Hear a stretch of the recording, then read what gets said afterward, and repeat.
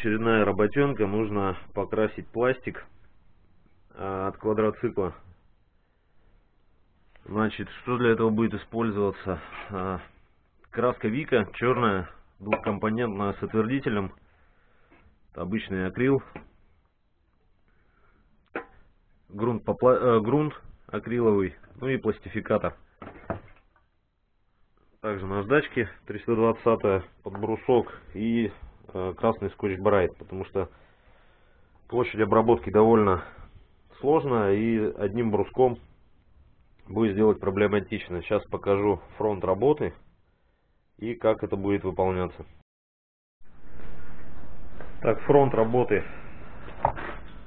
Ну вот пластиковый обвес квадроцикла, его необходимо зашкурить, подготовить под праймер по пластику, то есть первоначально будет грунт по пластику. Дальше пойдет акриловый грунт. Акриловый грунт будет замываться и покрываться двухкомпонентной акриловой краской черной. Вот я начал скурить уже. То есть необходимо зачистить краску до матового состояния для лучшей адгезии. Также необходимо удалить все наклейки. Они уже довольно окостеневшие. Для этой цели отлично подходит шпатель. Вот, в принципе, по идее, можно будет потом эту наклейку наклеить. Если это надо хозяину, оставлю. Там как посчитает нужным. Все наклейки остальные таким же образом удаляются. Все эти наклейки оставлять нельзя. Иначе потом краска будет отваливаться вместе с наклейками.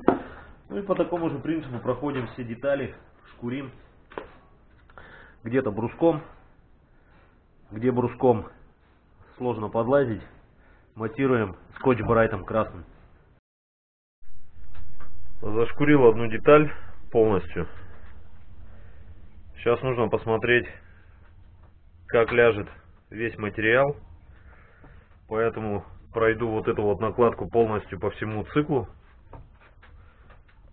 То есть полностью до конца покрашу и посмотрю, как э, ляжет весь материал. Что не хочется переделывать дважды одну и ту же работу. Мало ли где-то адгезия будет плохая, где-то что-то вздует, подорвет. То есть краску я замотовал старую. Слой довольно тонкий, надо отметить. Сейчас обезжирю, нанесу грунт по пластмассе. Посмотрю, не подорвет ли где старую краску. В общем, посмотрим. Печку затопил. Температура тут уже градусов 30, наверное. Все обезжирил. Сейчас нанесу грунт по пластмассе в два слоя с промежуточной сушкой, как по техничке 10 минут. Дальше буду наносить акриловый грунт. Он сохнет 4 часа при 20 градусах. Но здесь температурку нагоню градусов 40-50. Я думаю, часа за два управится, высохнет.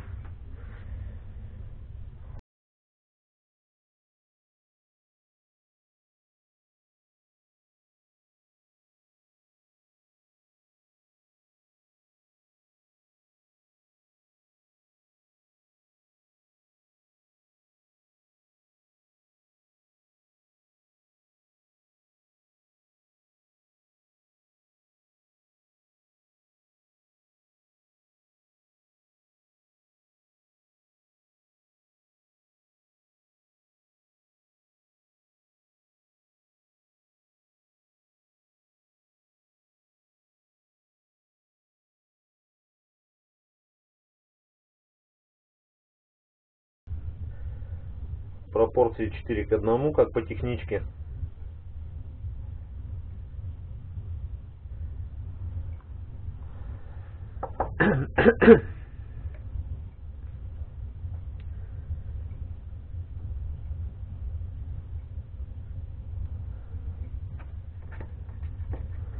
Так, если это было 4 части, значит одну часть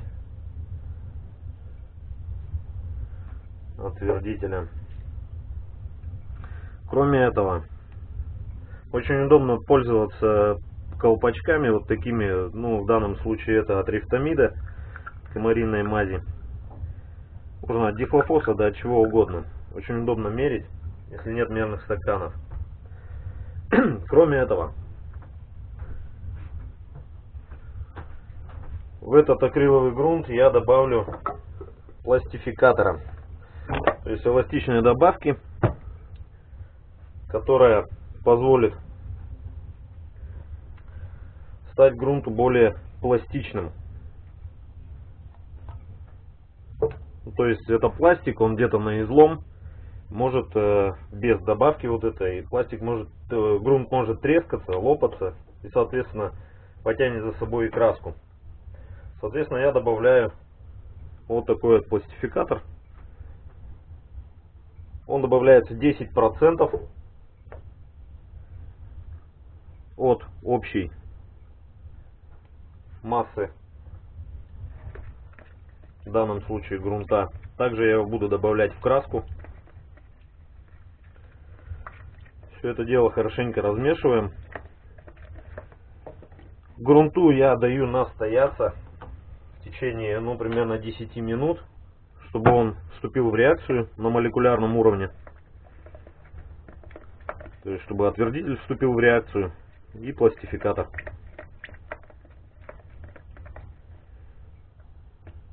В принципе, консистенция не требует добавления э, разбавителя. Я люблю, когда грунт погуще.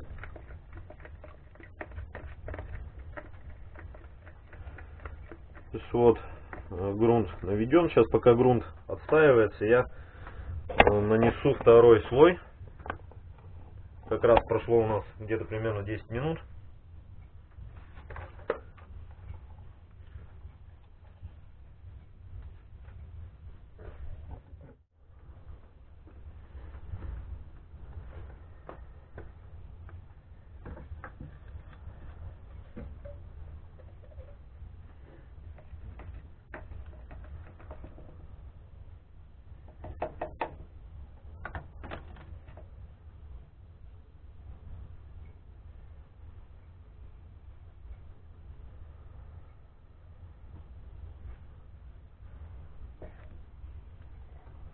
Процеживаю грунт. Как видно, грунт довольно густой. Через колготки проходит с трудом. Дюжа на пистолете 1,7.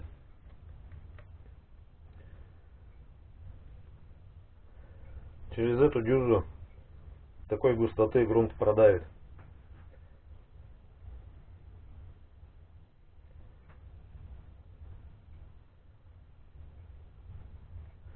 Для более лучшей адгезии грунт я наношу мокрый по мокрому. То есть не даю полного высыхания первоначальному слою грунта. В данном случае грунт по пластику праймер. Сейчас буквально минуты через 3-4 начну наносить акриловый грунт. Это позволит добиться более лучшей адгезии между этими двумя материалами.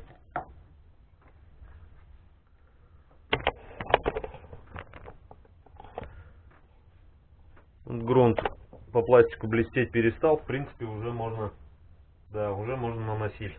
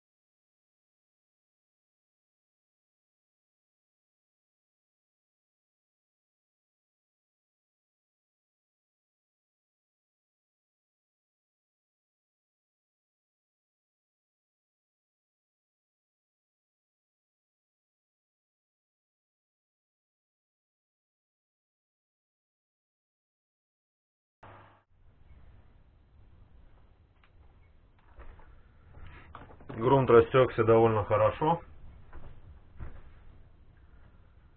Нагоню температуру.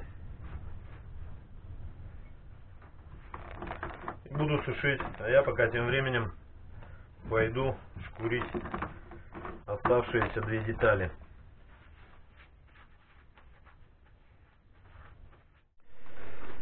Так, вот эта часть загрунтованная уже высохла. Сейчас нанес проявку. Пойду замывать. Вот оставшиеся две части вышкурены. Времени ушло до хрена и больше. Внутреннюю часть э, сиденья трогать не стал. То есть там, где стоит аккумулятор и так далее, мелочевка. Это все оклеил. Там все останется в первозданном виде. Все равно под сиденьем не видно. Передняя часть, капот также вышкурен. Все обезжирено, подготовлено для нанесения праймера. Сейчас нанесу праймер. Сначала все это дело загрунтую. И потом у меня в запасе будет примерно около трех часов.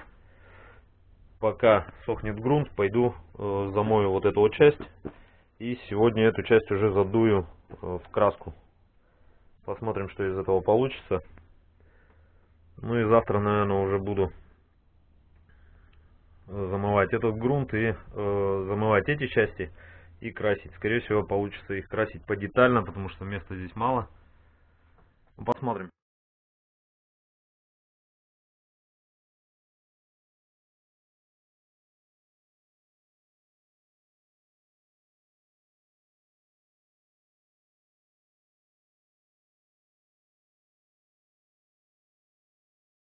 В общем, те части у меня загрунтованные пока сушатся.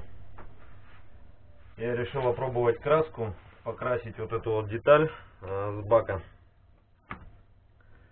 Для этого я уже размешал акриловую краску в пропорциях 4 к 1, все по техничке, все как надо.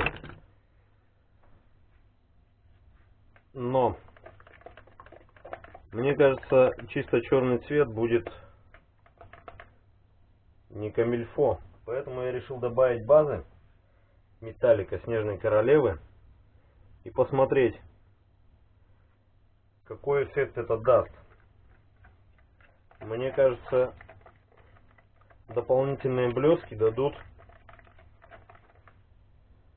классный эффект. Особенно это будет, наверное, на солнце хорошо смотреться.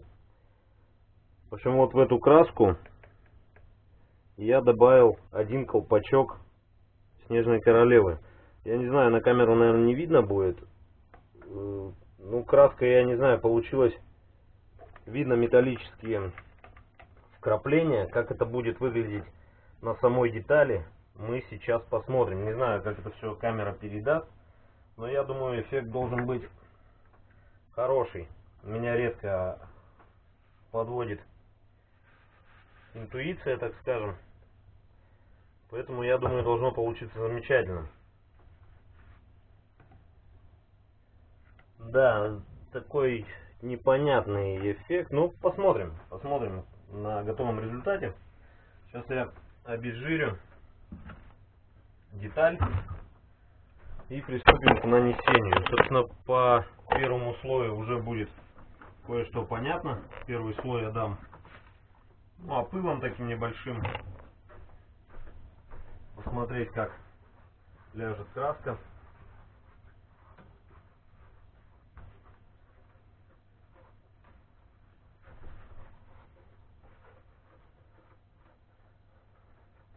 Вообще,